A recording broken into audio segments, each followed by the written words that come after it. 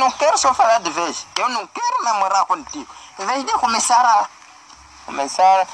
Começar, começar. começar. Família, afinal, o que, que está a acontecer? Hein? Família, afinal, o que, que está a acontecer? Já estamos em dezembro, está a acontecer muitas coisas estranhas. Afinal, o que se passa? Até posso dizer que no mês de outubro era humorista Coelhinho, de seguida, é, o humorista Walter Danone, e logo de seguida já é Tiado. Família, afinal, o que se passa? Fala aí galera, está tudo bem com vocês? Cá comigo está tudo bem. Seja bem-vindo no canal. Se você é novo por aqui, se inscreva e ative o sininho das notificações para não perder os próximos vídeos.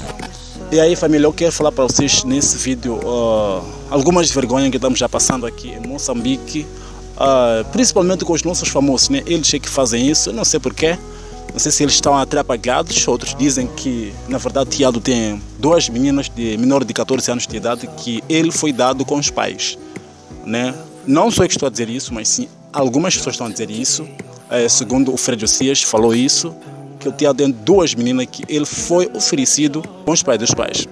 Ah, então o que me resta saber, será que esta menina que dizem que ela foi violada, será que é o teado que fez ou é, é o teado que violou a menina? Bom, isso não sei, né? Mas eu quero vos falar detalhadamente, afinal de contas, como é que aconteceu para que o teado, na verdade, pudesse ficar detido. Porque neste momento o teado está detido. Vai já na página dele, seja lá onde for o Facebook ou o canal dele do YouTube, Instagram, vai lá ver, você não vai ver nenhum vídeo, nenhuma imagem, nenhuma publicação que ele faz uh, dentro destes 3 ou 4, 5 dias atrás que ele foi pego, ainda não publicou nada. Uh, galera, na verdade o Tiago, uh, ele tem, uma, tem namorado, tem uma namorada dos seus uh, 12 anos, se como dizer, porque ela é uma menor de 3 anos, dos seus 12 anos de idade, ele estava com ela há um determinado tempo né? Estava com ela há um determinado tempo, a relação estava indo, mas era antes dele ter uma nota com aquela menina.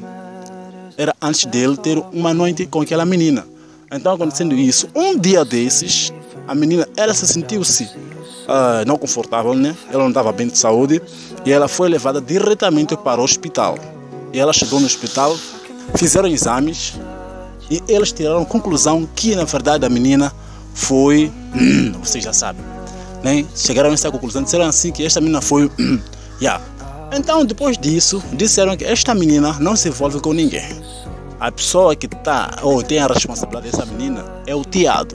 E daí que o tiado, na verdade, foi acusado de violar sexualmente a menina de menor de 18 anos. Não 18, mas sim a menor de 3 anos de idade. Galera, de 3 anos de idade. Imagina só se ele fez isso e a menina, ou mesmo se ele não fez, mas a menina aceitar dizer que sim, foi ele que me fez. O que, que vai ser do Tiago? Hein? O que, que vai ser do Tiago? E atenção aí, atenção. O Tiago não está 100% acusado, né? Ele é um suposto acusado, né? Ainda tem uma investigação que ainda estão investigar para saber se na verdade foi o Tiago que fez ou não. Mas se é que a menina negar que não foi ele, as coisas vão estar tudo bem. I wanna dance right now.